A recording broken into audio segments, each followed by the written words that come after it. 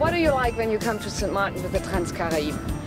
Well, I like uh, in, in St. Martin, I like the, the marina first, uh, the very nice facility we have here. Um, and we've been partners for many years. As it is now the 11th time we, we come to, we, we go to Cuba. Um, it is a nice facility, it is in the town center.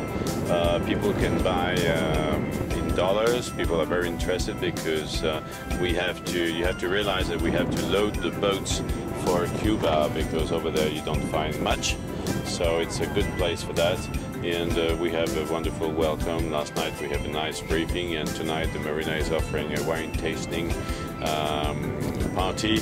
Uh, so it is all very, very sympathetic, and this is uh, this is what I'm lo I look for uh, in during the event: uh, conviviality uh, amongst the participants and fun and sailing.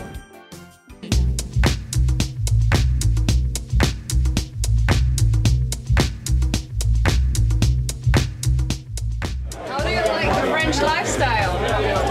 I love it. I've, I've been living here for many years, and uh, you know, this is a little piece of France here in Marigot, and uh, the whole French atmosphere, the ambiance is, is wonderful.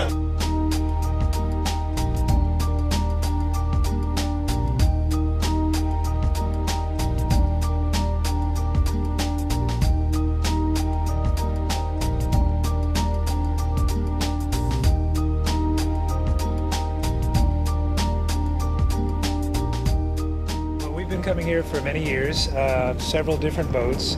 We love it over here on the French side, the lifestyle, the croissants, the wine. We have good friends ashore, merchants. We know the people in the marina, they're very friendly.